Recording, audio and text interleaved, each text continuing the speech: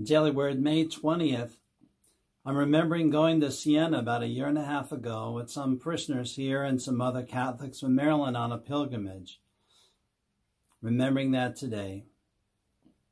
St. Bernardine of Siena, pray for us.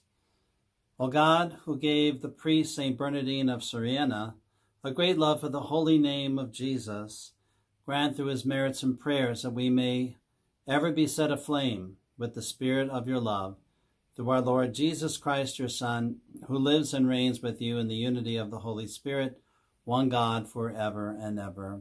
Amen.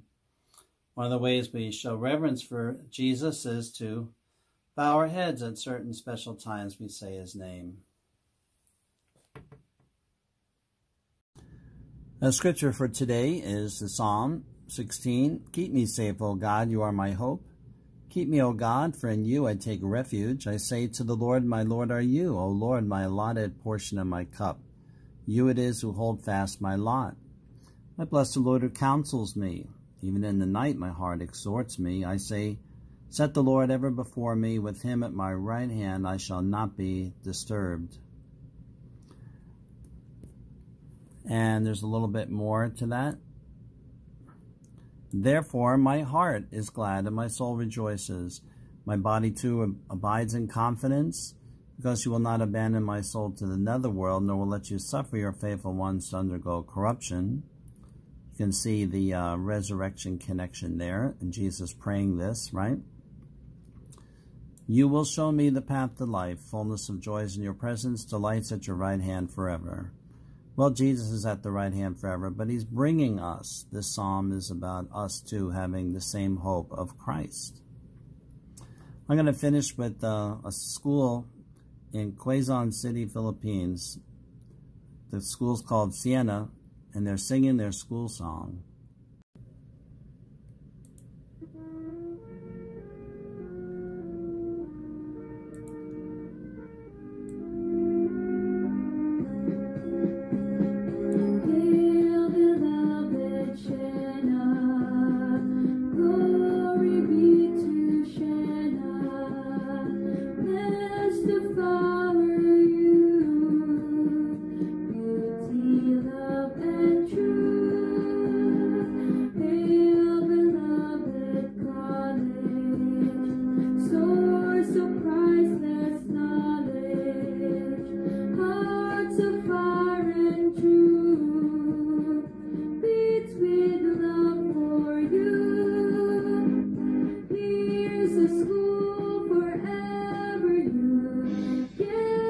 sky.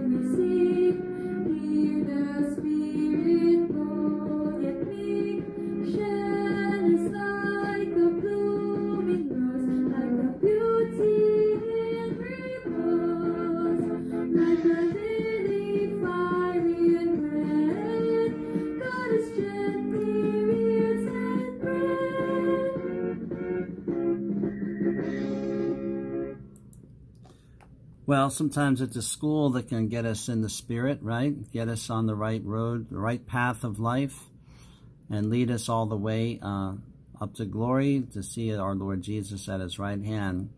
Sometimes it's a Catholic institution that uh, is the tool, the instrument God uses to see that all through.